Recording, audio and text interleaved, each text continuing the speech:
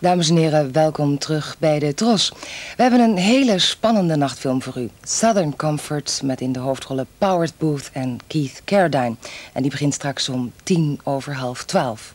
Maar eerst onze filmrubriek Simon Scoop met Simon van Kolm.